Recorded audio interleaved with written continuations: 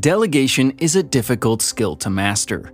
Perhaps you struggle to pass on tasks for fear that you aren't meeting your potential, or fear that other people won't do as good a job. This is fair. We all want to be the best we can be. But the best managers know how to delegate tasks effectively for better team relationships and results on projects. Today, I want to go through some tips on how to delegate tasks effectively and make the most of the team around you. With these approaches, I'm sure it will all become a lot easier. Number 1. Know when to delegate. Delegation only works if you're prepared to actually give something up and recognize when to do so. It can be tricky to admit that you can't do everything, or are short on time because of a growing task list. You may have that drive to do everything you set out to achieve and push too hard. This can lead to unsatisfactory work, poor job satisfaction, and mental and physical burnout. When you start to feel that there is too much to handle, this is when you can pause and reassess your list there has to be something on there you can give to other people. But what? Number 2. Determine your essential and exclusive tasks. There are always going to be some tasks that are more important than others and that you simply can't give up. If you go through your list of tasks and see something you wouldn't dare give to someone else, go with that gut instinct. There will be tasks where it's essential that you take on the work, however much you dislike it or tedious it is. This could be because only you have the skill set or qualifications to complete it. Lower level employees or those in other departments may not achieve the same results. Or you might find that upper management insists that you are the one to complete something and put your name to the work. Perhaps because a client insisted on it or for the reputation of the business. In these cases, those tasks become priorities and we can consider them for delegation. But there are plenty of other tasks that we can move over. Number 3. Look at tasks you simply don't want to do. This is something that I don't think enough people consider. A lot of the time, delegation tends to revolve around those tasks that are time sensitive or that don't play to our strengths. That's understandable.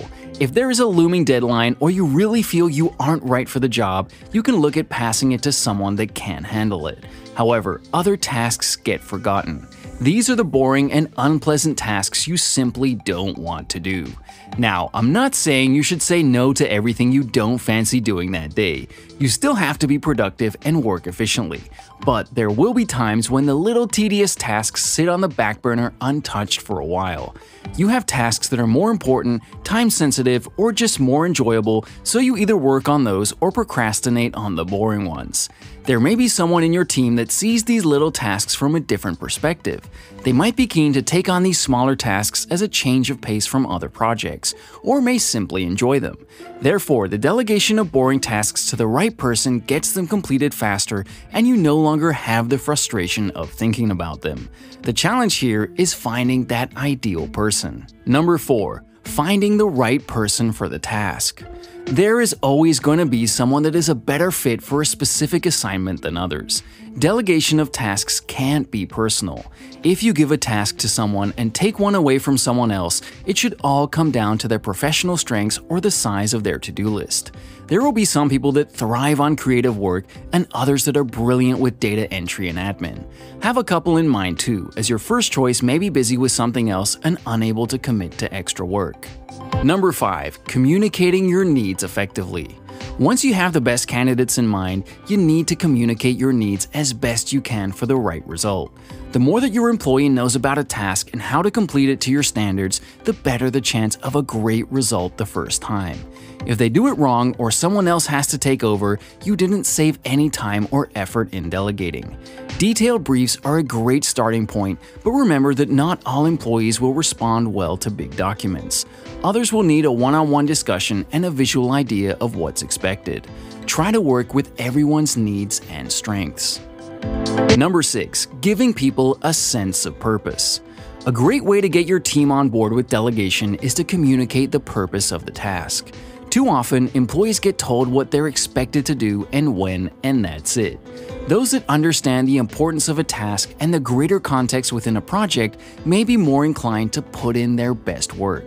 They can then see how it related to the goals of the team more widely and to other work they may be responsible for. Number 7. Determining a suitable time frame. Once your team members know exactly what's expected of them and why the task is so important, they need a strong time frame. Deadlines are both scary and comforting in equal measure. The benefit is that we have a clear finish line to aim for and aren't so likely to let the project fall behind. This can bring some structure and a level of importance to tasks too, which some low-level employees may lack. In turn, they can feel motivated and empowered to be a more productive team member. Of course, there's a little stress attached to deadlines if they start to creep up on us. A good trick here is to give your team members a sense of control over the situation. Rather than tell them the work has to be on your desk by 5 p.m. on Friday, ask them if they're okay with that or need longer. Your employee then has the choice and power to say yes, to negotiate for some extra time, or to communicate that they already have a lot to do by then. From there, you can decide on the next step. Either they get the task until the original deadline, you figure out a different time frame, or you go to someone else. Number 8. Keep those lines of communication open. Communication is essential when delegating tasks to anyone within a team. Too often, managers will tell employees what needs doing and when to do it by, and then disappear to work on their own essential tasks. Instead, you need to ensure that there's a healthy line of communication both ways. You should be able to contact them and talk to them about your needs, with enough detail about the purpose, actions, and time frame needed for the task. This also means checking in with them midway to determine how things are progressing. At the same time, your staff also need to be able to come to you whenever they need to. If they have a question about your instructions or a problem arises, they should be able to come to your office or send an email or instant message with their concern. Then you can clarify what to do or work on a solution to an issue. This gives workers a sense of power in their role where they are responsible for moving the project forward and achieving results. Also, remember that there are no stupid questions or pointless visits. Just because you're busy or understand something perfectly, that doesn't mean that they can't have concerns or that they should feel cut off. Number 9. Make note of who you can rely on. Improving delegation skills and task sharing within a team takes time and practice. There may be times when you pass a task over to someone and they aren't able to follow your instructions or meet your deadline. Here you may need to find someone else that will put in the work to achieve your aims in the future. There may also be lower level employees that over-deliver and show great enthusiasm when given extra tasks, even those tedious ones. You can make note of this and put them at the top of your list of candidates for similar tasks. Number 10. Take responsibility for your mistakes. At the same time as evaluating others, be aware of personal responsibility with delegation. Those that failed to achieve a goal may not have had enough time or misunderstood the instructions. This could be because you didn't offer a chance to negotiate when to hand in the finished project or didn't provide adequate guidance on what you needed. Learn from any mistakes and strive to do better next time. Delegation is a team effort.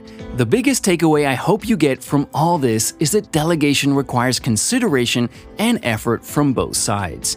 You need people you can rely on with the right attitude and skills for the task in hand. But you also need to be ready to negotiate and communicate over time for the best results. With practice, you will build a stronger team that knows how to delegate tasks effectively. Thank you for watching. If this video has inspired you and you feel it will help your team, why not share it with them and really get everyone on the same page when it comes to delegation skills.